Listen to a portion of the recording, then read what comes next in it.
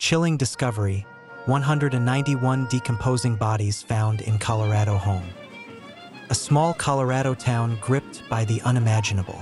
Authorities stumble upon a scene straight out of a horror movie 191 decomposing bodies, buried in secrets, unraveling as the unsettling truth comes to light. Meet Jon and Carie Hallford, a seemingly ordinary couple with a dark secret. As funeral home owners, they were trusted with giving loved ones a dignified goodbye, but no one suspected the chilling deception lingering beneath the surface. All it took was a persistent, unsettling odor for neighbors to alert the authorities. The subsequent investigation peeled back the facade to reveal a morbid operation that had been discreetly running for years. For years, the Hallfords conducted sham burials and cremations, betraying the trust of grieving families. They handed over dry concrete instead of ashes, weaving a web of deceit that spans since 2019. This despicable scam netted them a shocking $130,000. But their greed didn't stop there. They exploited the pandemic, illegally pocketing $800,000 in COVID 19 relief funds, a dark testament to their boundless avarice.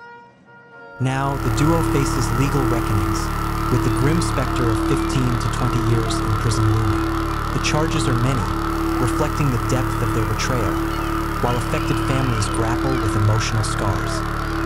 The news rocked the community to its core. Families of the victims are left in devastation and disbelief, their grief compounded by an unspeakable betrayal from those they trusted most. This case has ignited a national conversation on trust and ethics within the funeral industry. It raises critical questions about how such heinous acts can go undetected for so long and what safeguards can prevent them in the future. In the wake of this tragedy, authorities and communities are reassessing regulations and oversight in the funeral sector. The need for stringent checks is more apparent than ever to ensure such a nightmare never reoccurs. The sinister story of the Hallfords serves as a chilling reminder of human fallibility.